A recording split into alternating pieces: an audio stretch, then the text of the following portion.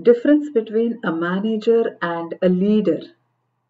A manager is the one who sets goals for the team or who sets goals for the individuals and who sets goals for the complete project and work towards achieving them.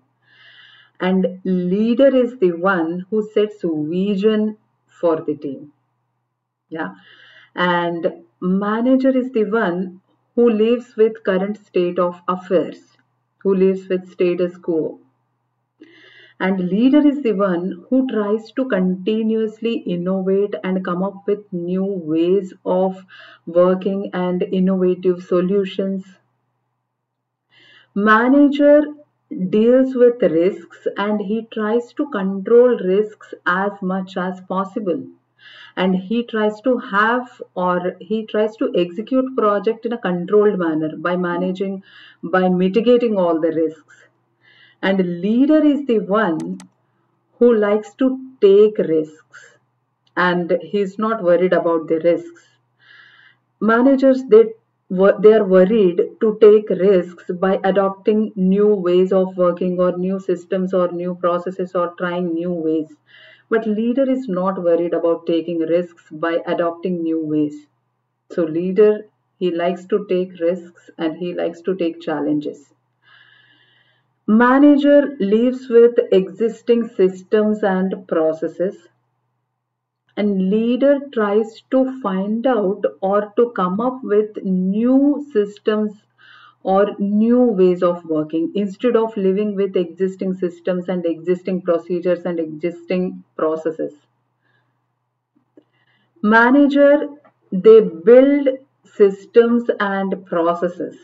And when we talk about leader, they build relationships. They are least concerned about systems and processes. They are most concerned about the relationship with the individuals, the teams, Managers, they direct the team and they assign the work and they ensure that the work is getting done in the prescribed manner. Leaders, they coach the team.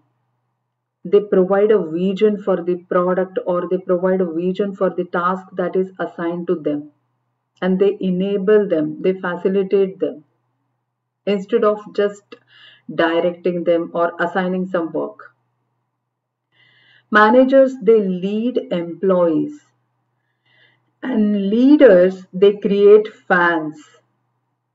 Yeah, so they actually have or they actually carry some charismatic approach and people approach them that way. So leaders, they create fans instead of just managing employees as another administrative task and managers they mimic the current behavior or the current state of working.